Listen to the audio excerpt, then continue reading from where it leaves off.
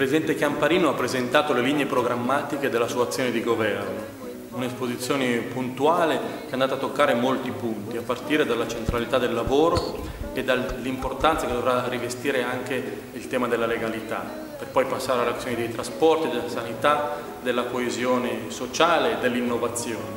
Eh, sicuramente l'azione di questi cinque anni sarà attenta e profonda.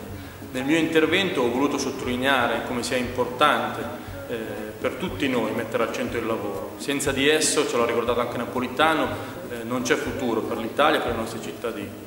Ho poi voluto fare un passaggio importante sulla questione della legalità e della lotta alle mafie.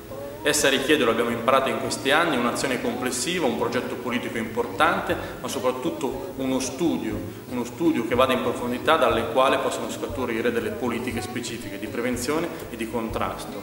Faremo la nostra parte e la faremo fino in fondo.